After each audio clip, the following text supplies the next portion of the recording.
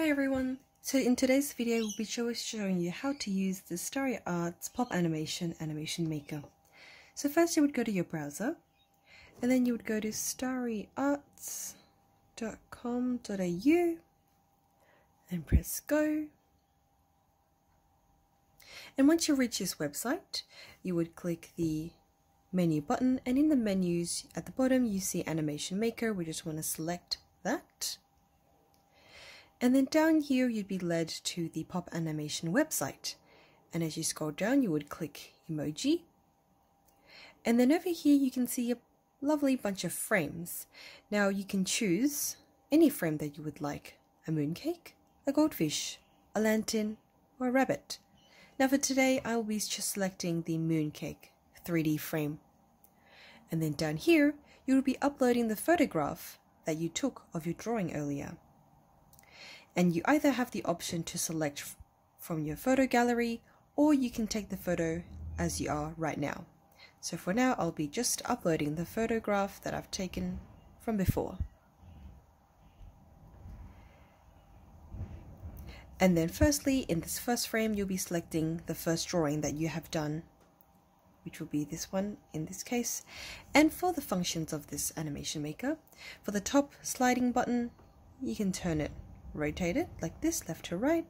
At the bottom one, you do zoom in or zoom out, or these two will rotate your picture by 90 degrees, like so. First, I'll just be placing a mine in the middle, just like that. Oops. And then once you're happy with this result, you can just click done. Now a very handy dandy tool is if you select this frame and you go to up here to this button next to the rubbish bin over here and it's a duplicate frame. So you duplicate it like so so that you don't need to keep uploading your photograph. You can duplicate it four frames, four times the number of frames you have. And this one, you would edit it like so with this little button over here and then you can select the second frame.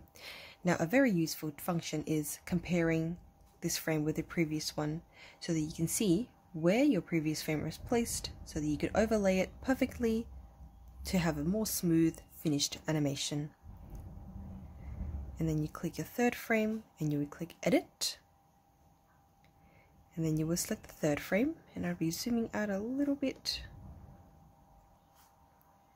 like so and I'll be comparing it with the previous frame just to see where I've placed it before and once I'm happy with that I'm to click done and then down here I'll just be editing it like so.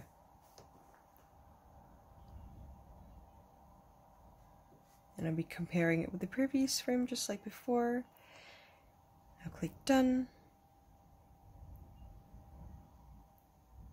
And there you go when you scroll down, we'll be able to, select how fast you would like your animation to appear. Just like that. And if you'd like to add more frames, all you got to do is select the frames that you would like to duplicate or not duplicate. And click this button right here. And you can duplicate more than one frame. You can click two frames at once and click duplicate. And a really cool thing you can do is also order around the frame. So this was frame 1, frame 2, frame 3, frame 4 and so on. If you would like to change the order of it, you can switch it around. Like so. But for today I'll just be leaving it like this. And I'll be editing this one to make it a little bit closer. To make it look like the flower is zooming in.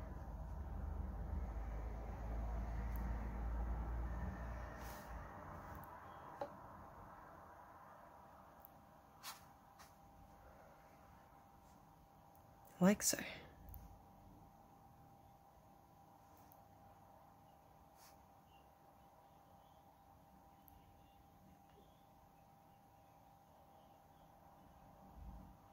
Done. Then now down here, you're able to see your finished work. And that's it. That's how you use the Pop Animation Maker.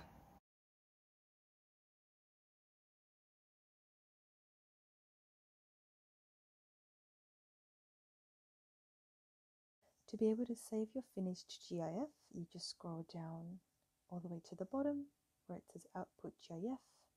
You select the speed at which you would want to have your finished result, and then you would press it and hold until this pop-up box comes up, and you would just press Save Image, and there you go, and you just go back to your gallery slash photos app, and you'll be able to see it's saved in there.